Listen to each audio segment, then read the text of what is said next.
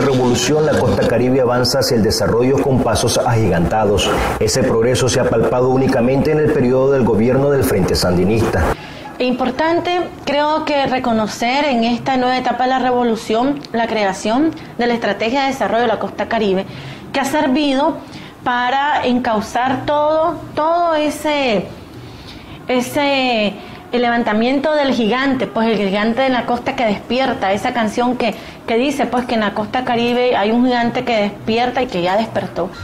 En esta segunda etapa, a lo largo y ancho de la costa caribe, podemos ver el progreso, podemos ver las carreteras que se han construido, podemos ver los hospitales que se han construido, podemos ver la electricidad que ha llegado hasta el rincón último de la costa caribe, no solo a través de líneas físicas, en los casos donde no se puede también se ha hecho a través de paneles solares.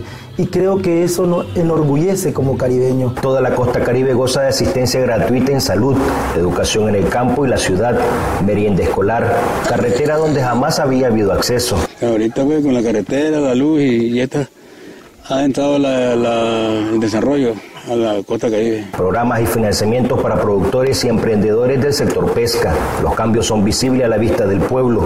Un pueblo que hoy goza de sus derechos restituidos por la voluntad de un gobierno cristiano socialista y solidario que vela por todos los y las nicaragüenses. Adelante, pueblo presidente. En Crónica TN8, Antonio Sujo.